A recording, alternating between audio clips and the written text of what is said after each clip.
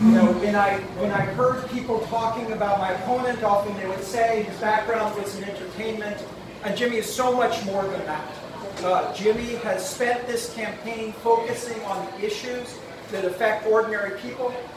Uh, he has focused this campaign primarily on solutions to this opioid crisis that is devastating our families and communities across the Commonwealth and the challenges uh, that we need to face in criminal justice reform and so many of the other issues uh, that affect uh, ordinary people across Massachusetts. Um, and um, I think that his approach to this campaign is something that will have a real mark on our message as we go forward, and I look forward to continuing to work with. And when I think about this journey that we've been on for about a year, I'm very proud of the kind of campaign that we've run. I'm proud of the results we had tonight, but I'm also proud that our campaign has represented some of the values that we think are most important uh, in this time. And there are three things in particular that I wanted to do when we launched this campaign about a year ago. And the first is that we wanted to focus this campaign on the needs of vulnerable people, on poverty, on inequality, on the kind of commonwealth that we want Massachusetts to be. Massachusetts has this wonderful tradition of leadership on the issues that affect the most vulnerable members of our population. And in this time, this cruel time, I wanted our campaign to be focused on the needs of ordinary people and the most vulnerable. And I'm proud that we have been able uh, to, to focus on those messages. The second thing that I'm proud of about this campaign has been this tone of civility. We live in a time when there is an astonishing lack of civility in American politics. And one of the things I wanted to do was be positive in our conversation with others in the Democratic Party and across the campaign. Uh, I wanted to set an example for our children of the kind of politics that we can have. Deval Patrick used to talk about the notion of being of disagreeing without being disagreeable. Um, and Jimmy Tingle has made that so easy. We have had a friendship throughout this campaign. There has never been a moment of pettiness or smallness uh, between us or between our campaigns or be between our families. And I credit him for that, and that is the kind of campaign that we wanted to run.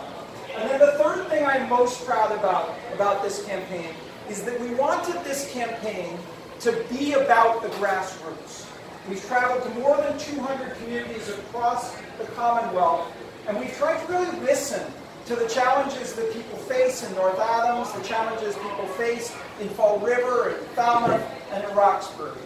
And I think when we think about what happened in that awful election in 2016, it wasn't just that we lost the presidency. We lost the Senate, the House, the governorships, the legislatures, and the courts. And as we think about how we're going to claw our way out of that mess, it's going to come from the grassroots.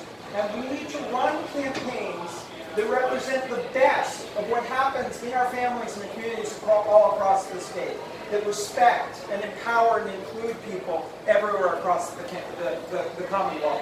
Um, and I'm very proud that we have been able to reflect that in our campaign.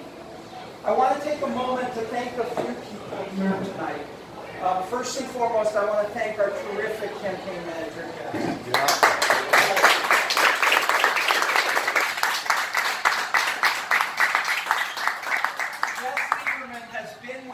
every throughout this campaign. She has built this campaign from the ground up, um, and this victory is as much her victory as it is mine tonight. I want to thank our terrific field director, Jimmy McCarty, uh, whose blood and sweat and tears are also all over the map uh, today. Uh, he's uh, done a tremendous job of building our grassroots organization and putting it to work. Um, and uh, I'm so grateful for your work here today.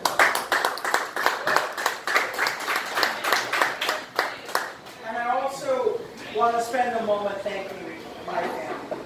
Um, and first and foremost, I want to thank uh, Anna, my wife, has been with me every step of this. But come, come for a second.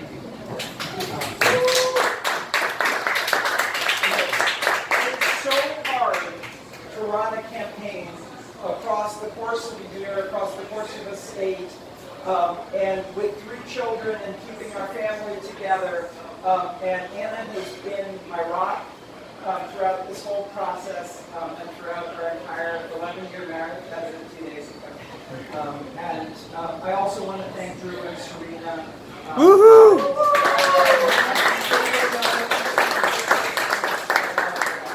Um, and I want to thank Sean and Jimmy, who have been most wonderful, our most stalwart surrogates, who have held our hand uh, and, um, and, and, and have leaned in in every community and in every phase of this, this campaign. Um, so I'm so proud of what we have achieved. We have so much more work to do. Um, and I'm thrilled to be joining the ticket with Jay Gonzalez.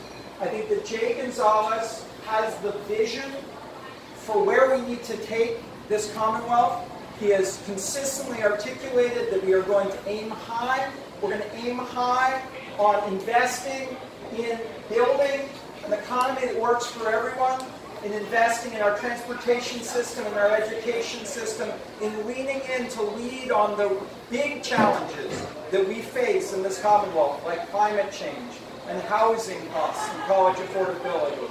Uh, and I'm so honored to join with him in that challenge. Um, and I ask you all to join with me over the next eight weeks uh, to take back our corner office and take back our country. Thank you.